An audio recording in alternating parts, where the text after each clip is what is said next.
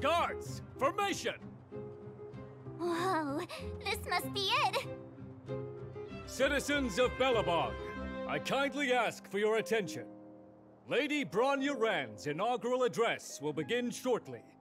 Please remain orderly. People of Belobog, hear me! Today we gather here to celebrate our victory, but it was a sacrifice made by a mighty guardian that delivered us this opportunity. She dispelled an evil that cost us 700 years of suffering.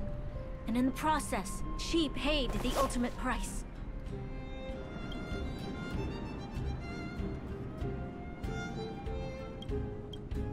The sacrifice of Cocolia Rand ushers in a new chapter.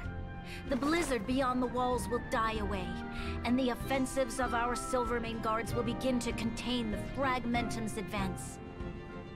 In the far north, I witnessed with my own eyes the struggle between the late Supreme Guardian and the evil power that sought to destroy us. In her last moments, the Supreme Guardian told me her greatest regret. The order to seal off the underworld from the overworld. With the passage of time, she gradually came to realize the consequences of that decision. Although tortured with guilt, she could not undo the damage. In her final moments, she wanted us to mark the Stellaron's end by reuniting Belobog. Overworlders and Underworlders must embrace the dawn of a new age.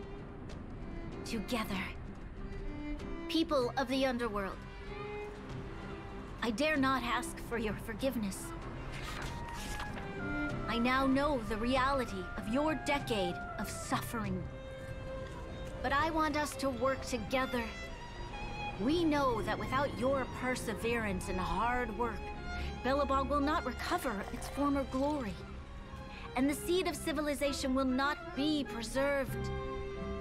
And on that note, I'd like to extend my heartfelt gratitude to a few guests of the city.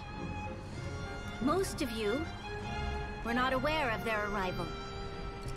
But it is thanks to them that our world now flourishes with hope.